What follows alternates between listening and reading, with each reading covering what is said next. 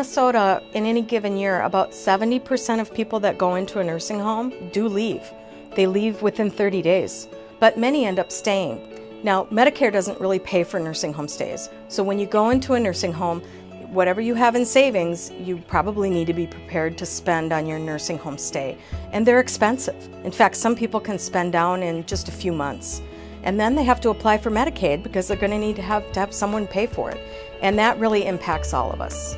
So what Return to Community does is we look at who are these people that should have gone home that didn't and why are they staying there? Let's target those people and start calling them and then we'll give them a service like the community living specialist and help them move home. When I was in a nursing home, I figured I just lost my home, that I wasn't going to come back. Last April, he had three toes cut off, and then they tried to save the foot, but they couldn't because he didn't have no circulation. So they had to cut it off below the knee, and then um, he had infection. So then from there, they took him to the nursing home.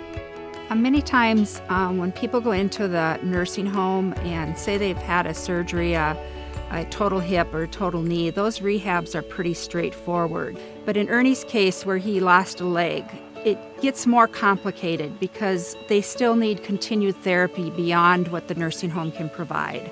And so we, we come in and we, we bring in those other resources to them. We let them know what's available in the community and what they can tap into.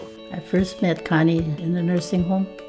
Well, she came up to the nursing home to introduce herself and try to explain it to us. Then we talked about the VA too, that she would help us get some things. In Ernie's case, um, when I met him, I found out first that he was a veteran, so I was able to hook him up with the VA and in turn they were able to help um, get him the equipment he needed to come home like the walker the wheelchair the bath bench. Now i can do just about whatever i want to do with all the equipment that they gave me. I do a lot of walking out in the yard. I go down in the basement. I could never do it without the prosthetic it wasn't for her i mean she was a big help we didn't know where to go or what to do Return to Community is having a lot of success keeping people in their home. In fact, of the 2,300 that we've served as of today, uh, roughly about 74% in any given year are remaining successfully at home. In the original analysis that we provided to the legislature, the calculation was that it would save $20 million over five years to the state budget.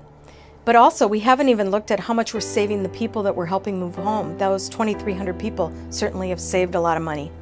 If he had to stay in the nursing home, it would be kind of draining us financially if he was there longer.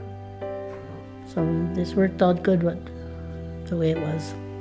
It is really fun to be able to get somebody home. And in, in Ernie's case, he was a smile from ear to ear, and that that was just priceless for me to see that this man is where he wants to be. I'm happier at home. Well, nursing home is very nice, but it's not like it's not home. I've had people where I've met with them initially and I would say, So, what's it going to take for you to get home? And I had one guy just absolutely shocked look at me and say, Never thought that I could go home. And so it's beginning that conversation with them to give them that hope that this is possible.